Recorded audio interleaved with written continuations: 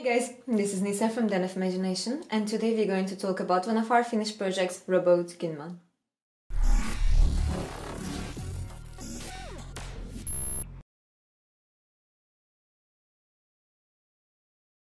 So this project here is painted on level 6 and we have our Roboute Guilliman. Lately we got a lot of Guilliman.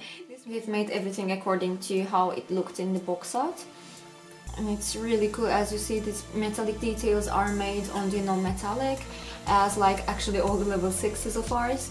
And like even here on the base all these details are like all non-metallic. There's a really amazing effect on the sword. Really cool glass details here. It's really really really cool. And also additionally we got one more hat to our Guilliman is magnetized and this is our second head here with the helmet.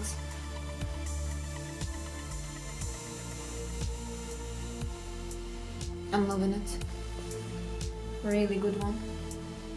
So this is from this project guys. I hope you liked it. If you liked it don't forget to smash the like button and let me know in the comment section what you think of it. See you in the next one. Bye bye